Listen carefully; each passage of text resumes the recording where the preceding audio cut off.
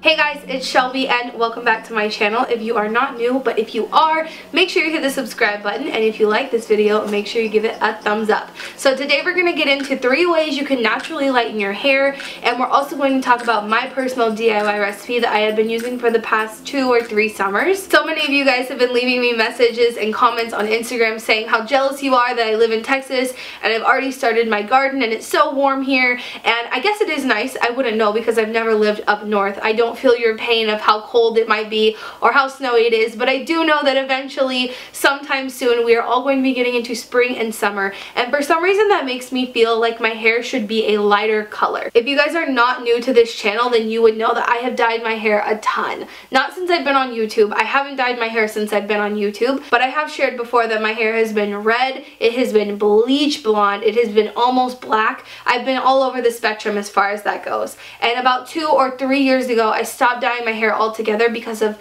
how harmful those chemicals are, not only to the environment, which is obviously a huge concern for me on this channel, but it's also really bad for your health. They have endocrine disruptors in that stuff that they use to lighten your hair. It's really bad for your brain, and it's just all around not something I want to be participating in. It's very toxic. So I stopped dyeing my hair because of that, even though I do love to have light hair. You might see some of my highlights within my hair, but most of those are from me doing the things that I'm going to talk about today. So let's go ahead and get into it.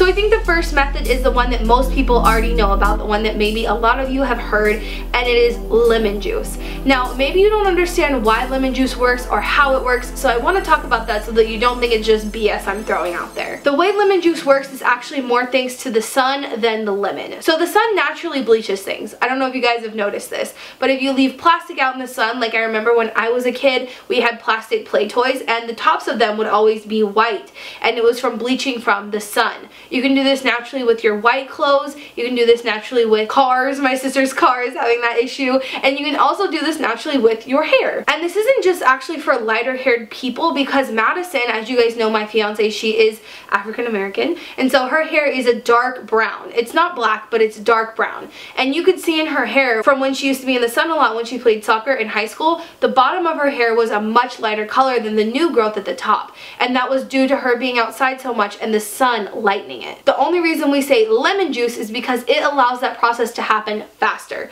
So the reaction between the citric acid, the UV rays, and oxygen makes it happen a lot faster than it would just naturally in the sun. Because who has time to sit outside literally all day to naturally bleach your hair with just the sun?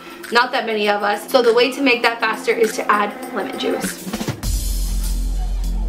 The next way you can lighten your hair is with chamomile tea. Now I think this is really cool because almost everyone has access to get themselves some chamomile whether you grow it yourself or you get it from the store.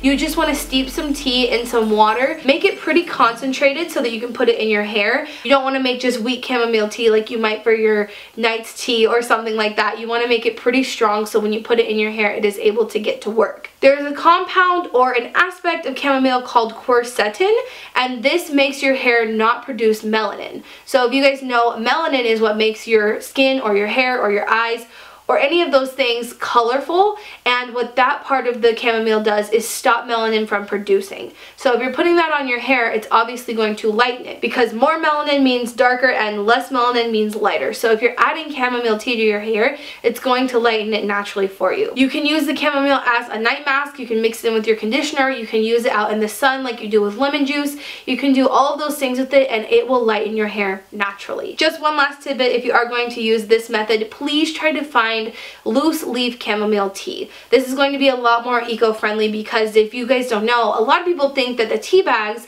the little tea bags that come in single servings are compostable, but most of them actually are not. They have a plastic lacing around the tea bag and that's why your tea bag doesn't just completely fall apart when you put it into warm water. A lot of people have been finding little plastic cages of tea bags in their compost because that part is plastic. So even if it comes in a tin box or a, a plastic box or whatever it is, it's going to be a lot better than using those little tea bags. So I'll link one below in case you can't find loose leaf tea where you live and you can get it through there. The last way is the one I recommend the least, but it is probably the most effective and the most immediate results that you're going to get, and that is mixing hydrogen peroxide with baking soda. So the way that this works is the hydrogen peroxide breaks a chemical bond within your hair.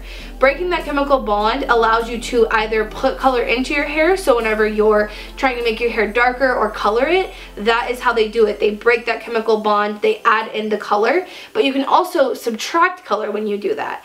So the baking soda here actually isn't doing any of the lightening. It's just mixing together with the hydrogen peroxide because if you just put hydrogen peroxide on your hair, it will evaporate pretty quickly and you won't see results. Whereas if you make a hair mask out of hydrogen peroxide and baking soda, that will clean your hair and it will also lighten it. With this method, I definitely recommend a lot of conditioning afterwards so that your hair doesn't get gross and frilly because like we said, we are breaking a chemical bond within your hair. So that's a little bit damaging, but if you want to lighten your hair without the really harsh toxic chemicals that come along with regular dyeing or lightening, then this is a pretty good way. Okay, well that was it for the three natural ways you can lighten your hair and now I'm going to get into my DIY recipe that I'm going to be using to lighten my hair this summer, so make sure you stay tuned for that. If you like this video, make sure you give it a thumbs up.